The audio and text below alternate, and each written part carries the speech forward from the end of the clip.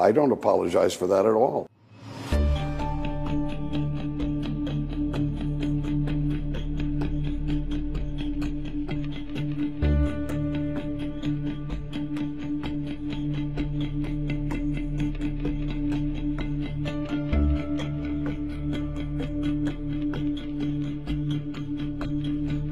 I believe, certainly believe that people can choose whatever lifestyle they want, but people who are religious and are very have strong convictions uh, about some things that are moral and not moral, they should not be forced to do business with those who they think are involved with immoral acts.